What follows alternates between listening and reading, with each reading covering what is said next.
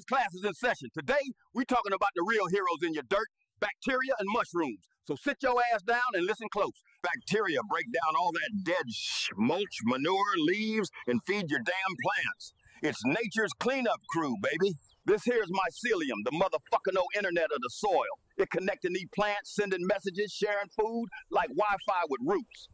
You add them through compost, compost tea, mushroom mulch, even wood chips. They team up underground to feed your crops and fight off the bad shit.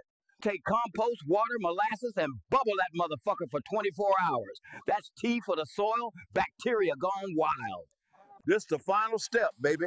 Spraying over the compost tea, waking up that soil life like a fresh slap on the ass. Spray that compost tea once a week, y'all hear me? And water them in the morning when the plants wake up, not when they sweating.